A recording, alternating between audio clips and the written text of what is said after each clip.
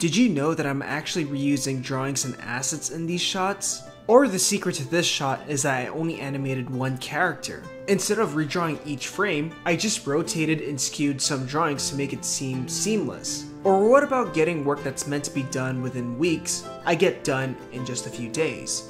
Spending less time and energy, and this is why working smart and knowing how to do it is highly beneficial.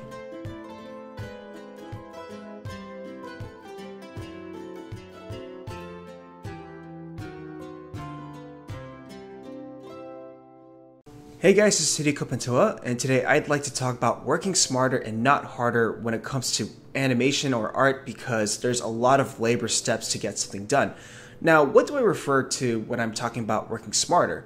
The first one being working smarter and not harder. You know, getting close to the ideal animation or final picture without spending so much time on laborious efforts. This also includes methodology of finding shortcuts to your workflow to make things more automatic. Another thing that I'm referring to is smarter and adaptive. Adapting to tight schedules, adapting to your circumstance, taking initiative on improvisation if needed. Working smarter doesn't mean always finding easier and shortcut ways, but also making you think outside of the box when trying to get something done. There's a lot of topics and things I can talk about regarding to working smarter and not harder and dumber. In this video, I just want to talk about the ideal mindset you might want to have when you want to approach working smarter more, and why each of them are so crucial.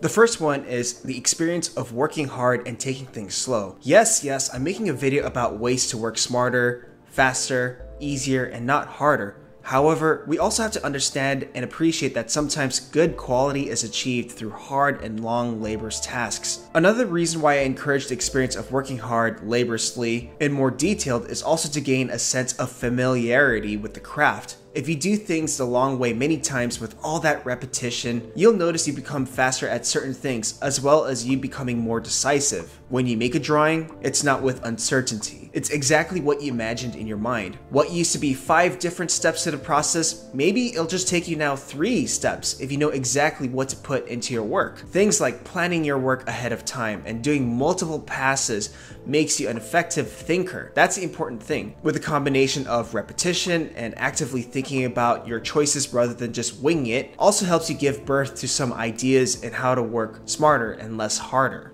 The other important factor is experimentation and creativity. Sure, repetition and laborious tasks can make you more familiar and more punctual with the craft, but it's still a lot of work. And also, if you just focus on just working hard all the time, you build tunnel vision syndrome. And that can lead to you thinking that good quality work can only be done from working hard and laboriously. One thing that's hard for, you know, ambitious people who are tunnel visioned to do is to try new things. You know, try learning 3D learning how to paint or do a new approach. Experiment with new different software and see what advantages each software has to offer. Some software have AI integrated auto coloring, whereas some allow for rigs. Experiment by making silly things really quickly to see how you can whip out something quick and small in a short amount of time using some of these tools. Try making stupid projects instead of trying to think of every project has to be some sort of magnum opus. Even following a donut blender tutorial allowed me to understand the general functions of Blender, whereas someone like Ian Hubert will show how he works really smart and really fast with Blender at the same time coming up with exceptional images. Let's say you're animating a super detailed character in a traditional animation sense. Instead of redrawing every keyframe, you could just lasso select some parts of the drawing, warp that around, transform them around, move them around, so that you can spend less energy on creating new drawings all the time. And for this to work properly, you have to have a strong fundamental understanding of animation, spacing, solid drawing, for even those quick processes do need some good foundations. And that does come from experience, like experience from working super hard and laboriously. For my quick, casual films like my 48 hour films, I would just utilize Flash's symbol functionality and library and just reuse assets that I drew. For example, this samurai in this clip where he's just talking each part, such as the head, parts of the helmet, the eyes, the nose, the mouth, They're all separate assets where I just moved around to give it a more lively effect, and the mouth animation is like a loop of different frames. What about the silly aerobics animation that I did? All these three characters are the same, except their skin color is replaced as well as their heads. I understood Flash enough where I could just animate one character doing the motion and just replace a few things in bits and pieces, and give the illusion that I animated three different characters. And I think because of how awkward it looked, I liked how it added to the comedy. But you know what? Sometimes it doesn't have to look awkward. And if you're really smart in what to prioritize and how to utilize it, you can get away with so many things without the audience even realizing what's actually happening with the effect. But this also requires a strong understanding of what program you're using, the pipeline, the workflow, etc. Another factor that I'd like to talk about planning. It's always good to strategize and plan things out before you execute the work. I would highly recommend beginning animators to plan more, whether it's thumbnailing, whether it's creating a color script first, or storyboarding, because there's many occasions where beginning artists just wing it. They just go full throttle with it, they work super hard on it, and when the animation or the art comes out, it doesn't look quite right, they can't figure it out, so they keep redoing, trial and erroring it, still doesn't come off as right, and repeat and rinse and repeat and by the end of the day, they're tired, they're burned out, and they got nothing done. So you want to have a proper foundation or the groundwork before you actually implement the work. So for example, for animation, that requires a lot of drawing, I would thumbnail all my acting poses first before even animating, just so I can get all those ideas out of my head. If the character's moving all over the scene, have one drawing where it's just a layout of different poses of the character in one single frame, and then use that as a roadmap for when you animate the character on top of it. If you're trying to utilize color at its strength, come up with a color script first, and then use that as a reference or your actual palette for your project, whether that's a short film or a series of illustrations or sequential art. If you're working on a short film, start to prioritize what shots are super important, what you need to spend the most time on, and what shots aren't so important and those can be filler and you can spend less energy on that. And speaking of priority, that's something that I'll talk about later down the line in the same video.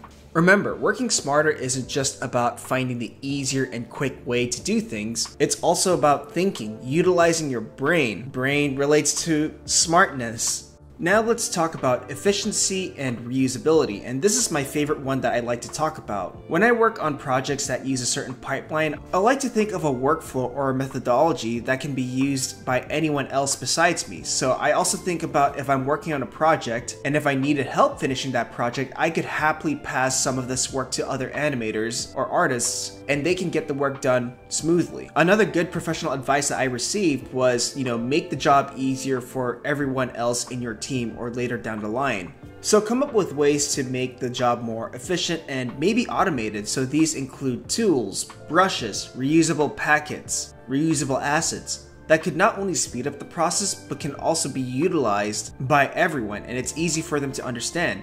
When the project requires me to storyboard in Photoshop, where I have to apply tone and lighting and gradients and all that, I made an action set that automates that laborious part and just consolidates it to a single push of a button. And that's why I can turn in fully toned and fully lit storyboards in a short amount of time. Sometimes I would animate an effect once and then if I needed to use that effect again, I would just grab that file and put it in my scene accordingly. This could also be reused in other shots or even other projects. It could even be used by different individuals. Like I could package this, put it on my Gumroad or my store, and then just sell it off so people can just use it. Passive income ideas, by the way.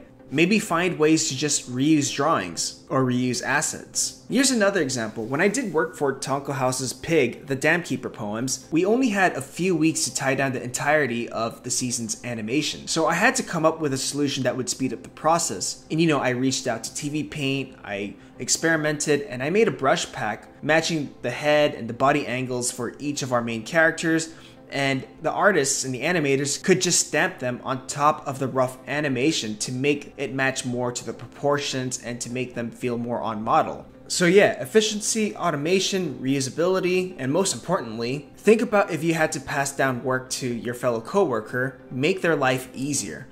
Next is priority. So what's important for your project? So working on short films under strict deadlines forced me to prioritize what was important for my projects and how much energy I would have to spend on other things. Priority is also understanding what parts need to be sacrificed in order to finish something.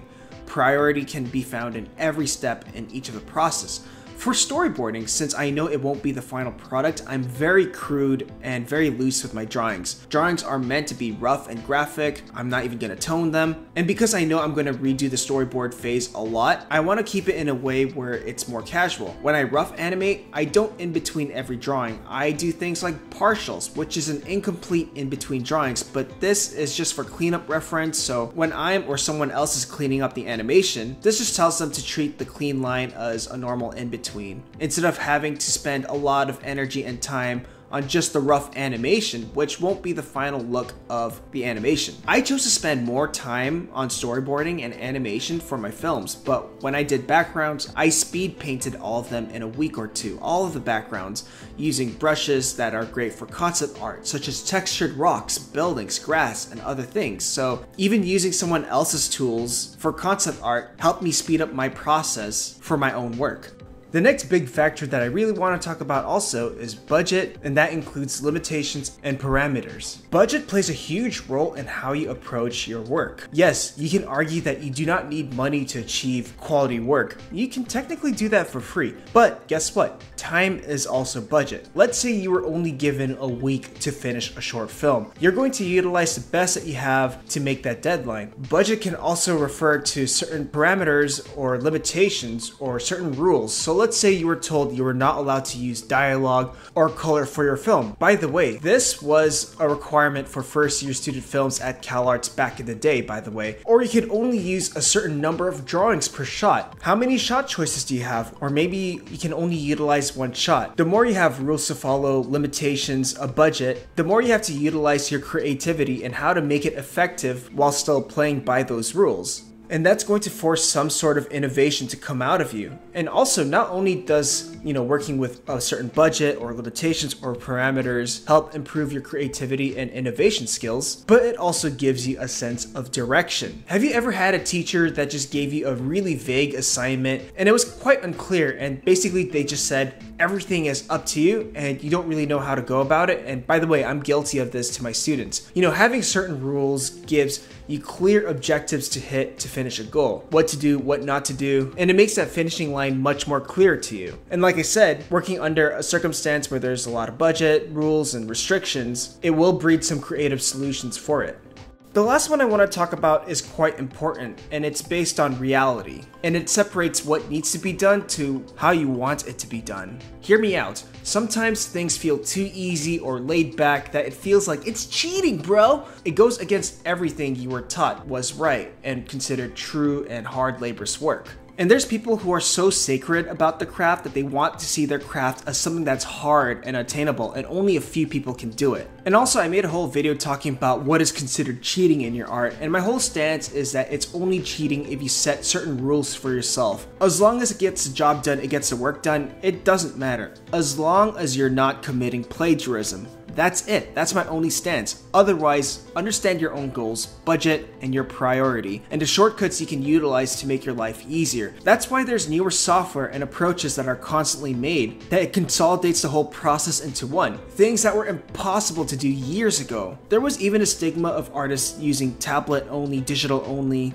and they thought that was cheating, but now this is considered the norm. But anyways, I'm getting off topic. So let's say you want to make a short film where it's just jokes and you know, you ideally want the animation to be really fluid, like Disney Renaissance age level of fluidity. But you can't do that in like, let's say three days, and you want to get this short film done in three days. You can spend most of that time making that joke funny, making the beats hit, and the animation maybe not as polished, or maybe make a rig and, you know, face capture it through your webcam, mimic the motions, motion capture, whatever, and then just use that as your base animation. Even though you had to sacrifice the desire of having Disney quality-esque animation, you still hit that goal of making that joke land.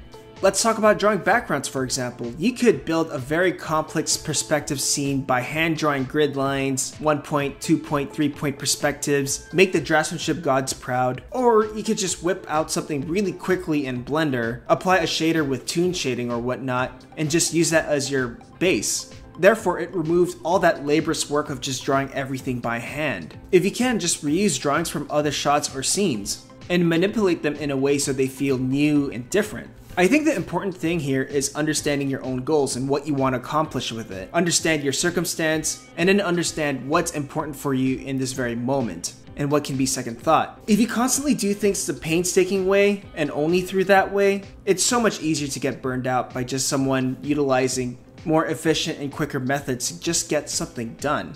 If someone says whatever you're doing is or unimpressive, you know what? Screw them. The important thing is you got something done. And not many people can say that, especially those who are sacred about working hard and long and laborious. There's a lot of things I could talk about regarding working smart, and a lot of ideas and how to approach it.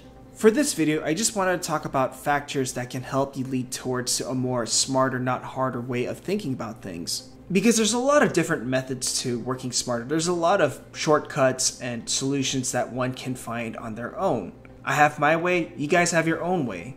But because I've worked on a few different pipelines, my own projects, my own short films, quick 48 hour films, I feel like these factors are universal for anyone who wants to be more interested in learning hand drawn animation or learning how to finish an animated shot from beginning to end. Have a look at the store where you'll find the complete introduction to 2D animation video course, tutorials, and other resources.